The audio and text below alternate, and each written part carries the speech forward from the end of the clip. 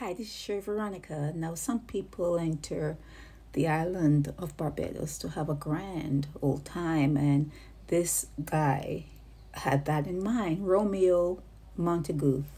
And he was in Barbados April 6th, and he went on a party boat, and he had with him a cooler bag and his cell phone and everything, you know, his wallet and everything, and he had a grand old time on that party boat. And when he got off, that was the last thing he remembers. He doesn't remember anything else after that. In fact, what he knows is he ended up in the QEH. So when people are asking, well, what happened? How did you get in there?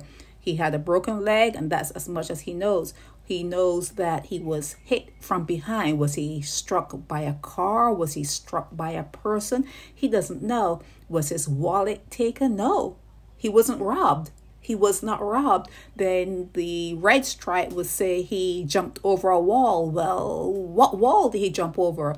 A wall outside of Hastings Station.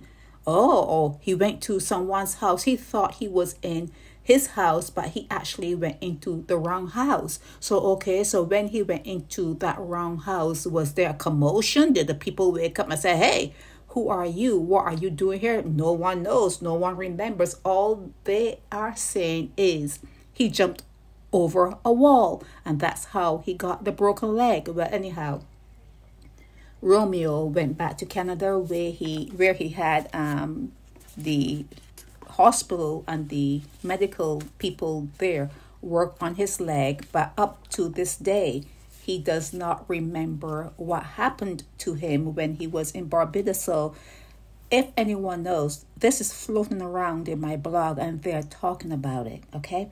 And if anyone knows what happened to Romeo Montague when he got off that party boat, please comment on this particular video and let people know so they can move forward in the investigation of, of this matter.